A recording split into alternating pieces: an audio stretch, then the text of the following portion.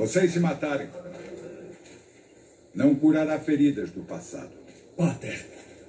Olá, Stentor.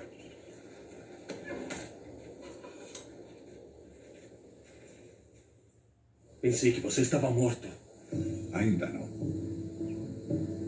Ela tem que pagar pelo que fez.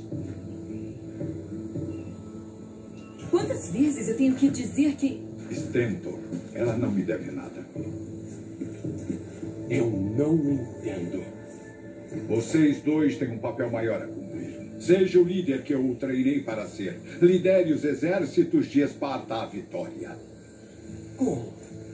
Você é um homem honrado, um filho leal e um guerreiro.